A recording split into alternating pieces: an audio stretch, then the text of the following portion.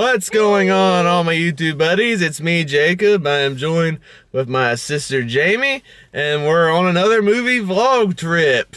Yes, we're about to go to the movie theater and see Alita Battle Angel, directed by Robert Rodriguez, the same guy that brought you acclaimed masterpieces such as Spy Kids and Sin City. Very strange that he did both Yep. And produced by James Cameron, the mastermind behind so many great films uh, Terminator 1 and 2, Aliens, The Abyss, True Lies, Titanic, Avatar. Maybe Avatar's not a masterpiece. Visually, that movie's really amazing. Yeah, I think we need to see Avatar again. Yeah, I mean, Avatar's got like, what, five sequels coming out in the next few years that are being Yeah. shot back to back to back to back to back to back. They better do well. I hope so. Now I talk to Disney property. Yeah. Oh yeah, that that that too because of the Disney Fox merger. Makes sense because there's an Avatar theme park at Disney World. Yeah, I think it's in that Animal Kingdom section. Yeah, I hadn't been there. I heard it's neat though. Uh, of course we we went to Disney World one time, but that was before it was even developed. But Disney World is like the best place ever. Yeah, I think we need to go back. Ah, it's there's a reason it's called the happiest place on earth. mm-hmm. So anyway, Alita Battle Angel is based on an anime manga, which is like a Japanese comic book or something. I know nothing about this property, so Well, we can't. fascinating. Eh, yeah, anime is yeah. cool, but uh, we're not like big on it. Although I have seen some anime that is good. I'm like, I'm I'm really big on Studio Ghibli, Mm-hmm. but I'm still not the best experienced with anime, so I can't say, oh. I, I know who this is. I, I I can't name you any anime director outside of Miyazaki. Yeah. mhm. So, and I, I, uh, Hollywood's been adapting a lot of animes in more recent years. I mean, they did Ghost in the Shell a few years back, Yeah. and previous attempts have bombed. Ghost in the Shell didn't go over well. Uh, neither did, of course, they also did the Dragon Ball live action film. That movie is embarrassing, and I'm not a big Dragon Ball guy, but I know that movie was something about that movie. And abomination Avatar: The Last Airbender. Ugh. That's him That's not really an anime. Well, It- it's, an anime series. It- It's it's styled like an anime, but it's not an anime because it was because that show was made here in the U.S. An anime is in Japan, yeah. Well. Yeah, similar to anime, but not really. but it, it was inspired by a lot of anime. So I don't know if it. yeah, a lot of uh, Japanese stuff. Yeah, there there's a lot of anime influences on that show, and then the Legend of Korra. Oh, yeah. All right, so we're like I said, we're not familiar with a lot of anime, but Alita Battle Angel it actually was a surprise hit. It was projected to be this massive bomb, and it would lose like two hundred million dollars at the box office on its opening weekend. But no, its opening weekend, it was like I think it was the number one movie. Yeah, people- well, now Fifty Shades of Grey. Actually, never underestimate James Cameron. Everybody thought Titanic was gonna bomb because of you know, it being over budget and everything. That made over a billion dollars. Yeah. Whew. Avatar, everybody thought was gonna bomb. That made like two billion And we saw dollars. Avatar 1, so we might see that movie. Yeah, I don't think Alita's gonna make a billion dollars, but the fact that the movie is still doing good when a lot of insiders thought it would be one of the biggest bombs of the year, that says something. Uh, a lot of people uh, had high hopes for this film, and for a lot of them, it delivered. I think. I think the overall consensus on the critics' side is that the, some of the storytelling aspects are a mixed bag, but the visuals I've heard are outstanding. I wanted to see this film in 3D, but we don't have a lot of 3D showings in a lot of our areas. Being Yeah. in being in the middle of Virginia. yeah, we're still gonna see the film, and I'm sure the film's still gonna look great even in standard 2D. Yeah. hmm Actually, it's kind of fun watching a film in 2D, even when it's filmed in 3D, because you, you- it'll show even clear whether the 3D was worth it or not. Uh, whether it's the 3D that immerses you into the world or it's that flashy, obnoxious 3D. If you saw my Spy Kids 3D video, you know what I'm talking about, where it's like all in your face, like, pew, pew, pew, Okay, pew, okay, pew. okay, we get it.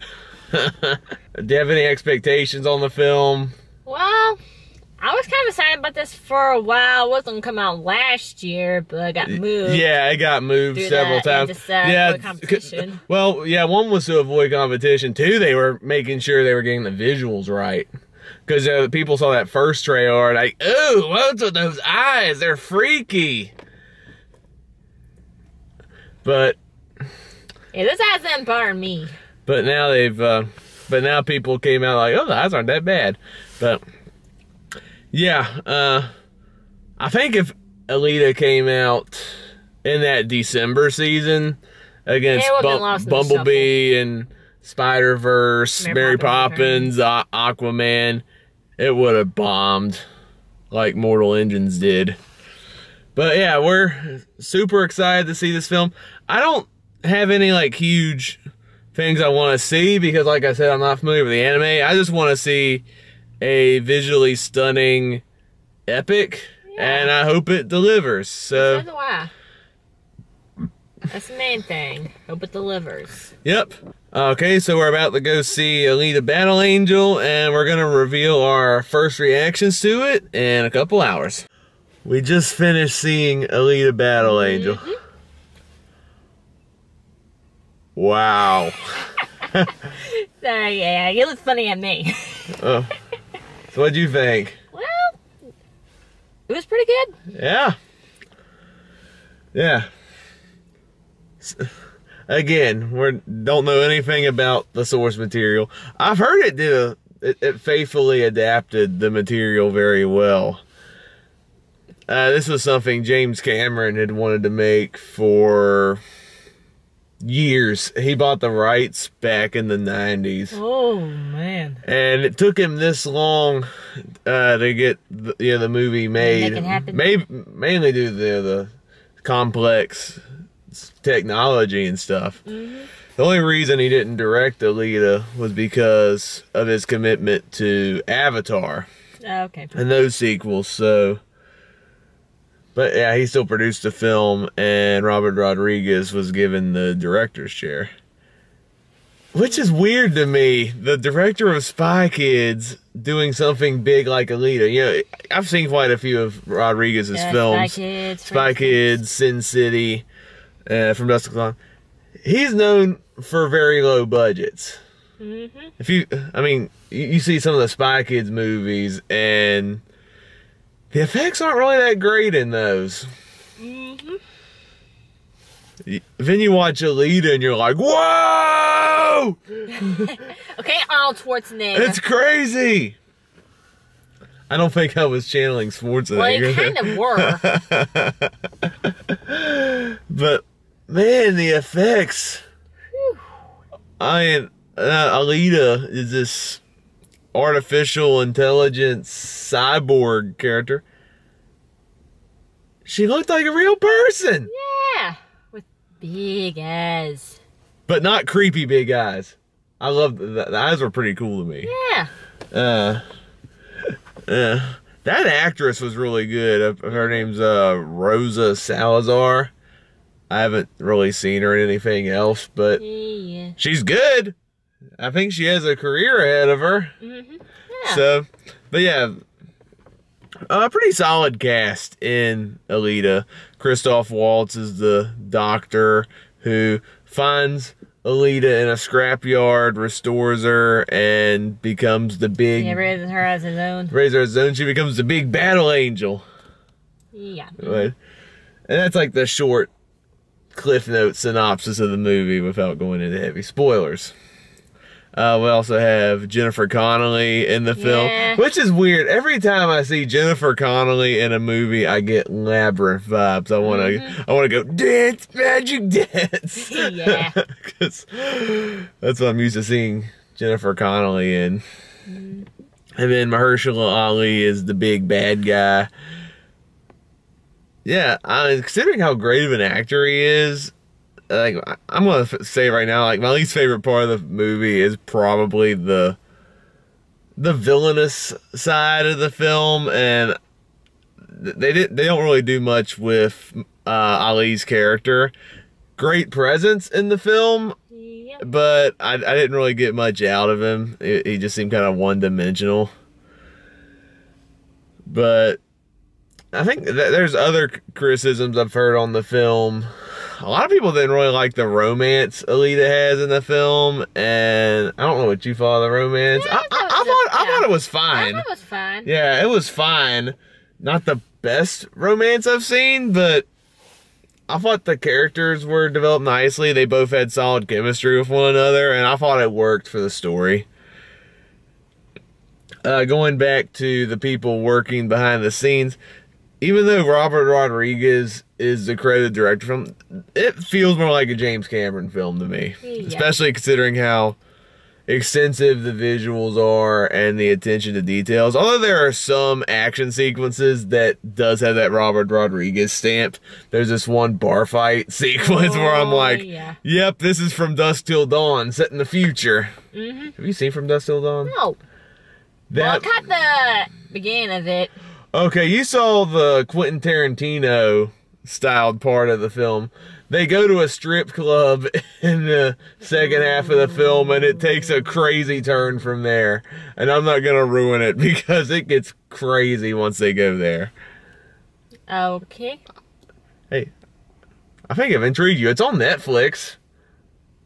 You got Netflix. Yeah, no. You should check it out. Well, it depends on my schedule, you know. okay. Yeah, she has a crazier schedule than I do.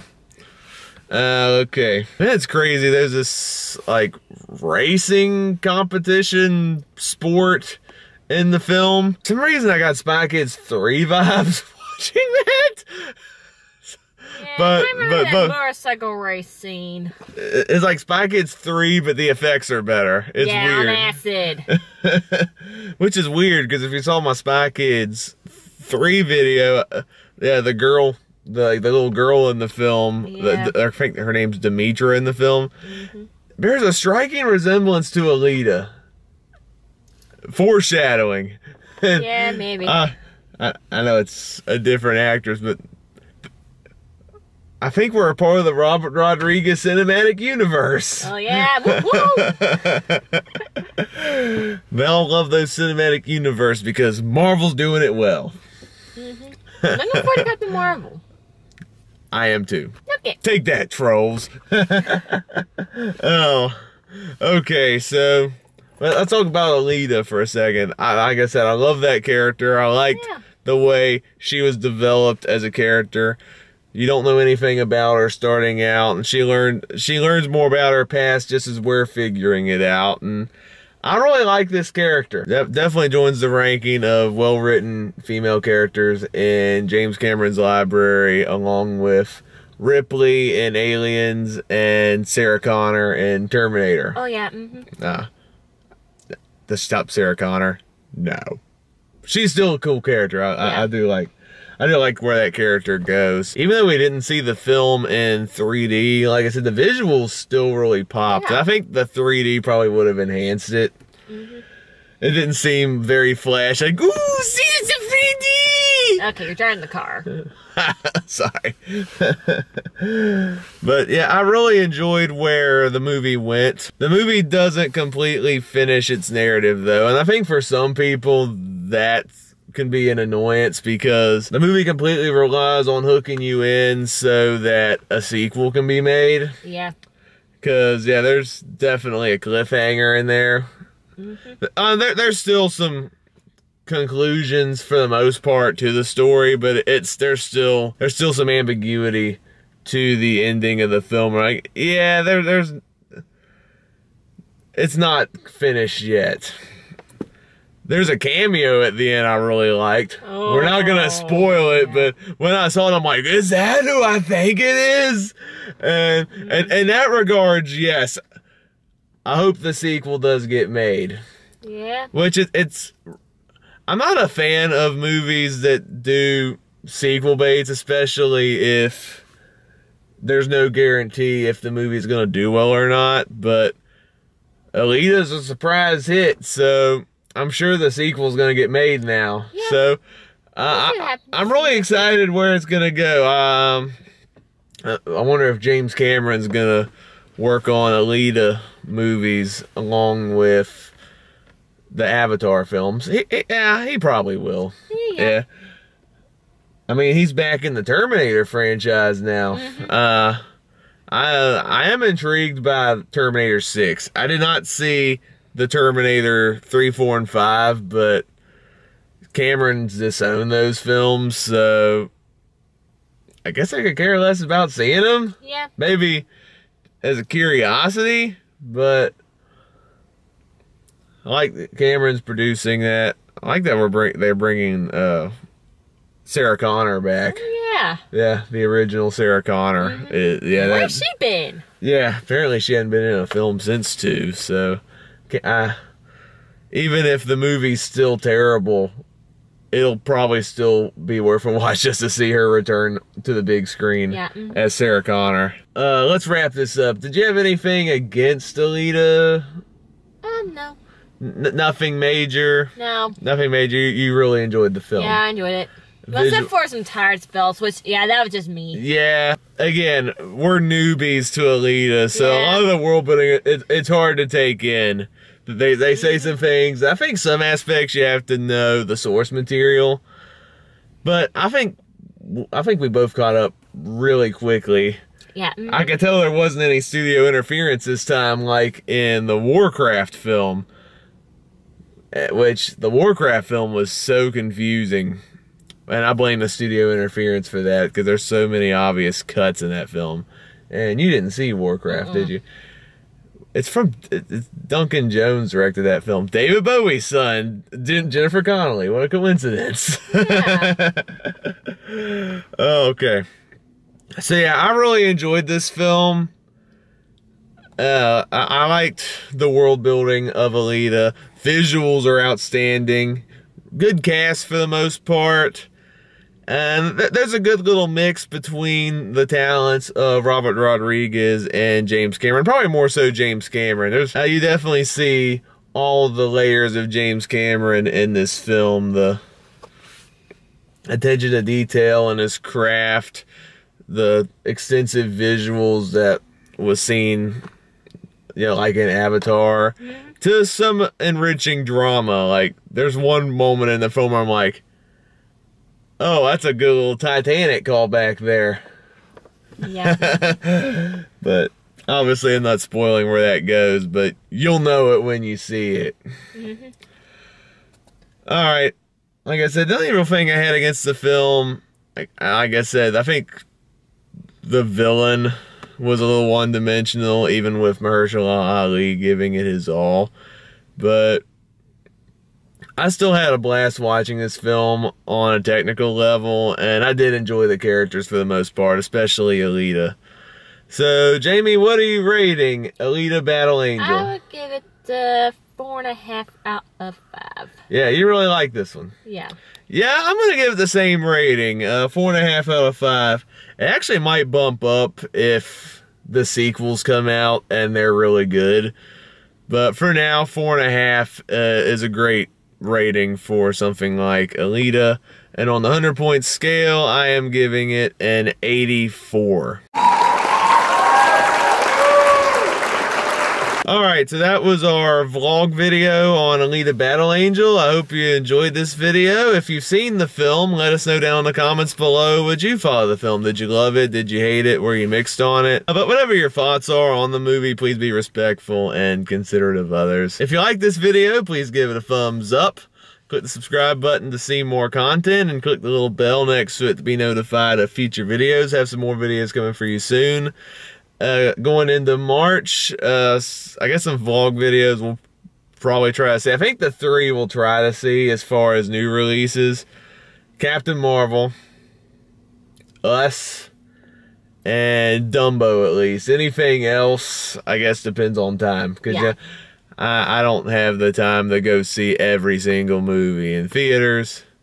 If if I did have the time, I'd be rich and I wouldn't have a part time job. Yeah. But that's not going to happen anytime soon. Anyway, I hope you all have an amazing day, and we'll see you next time. Bye. Goodbye.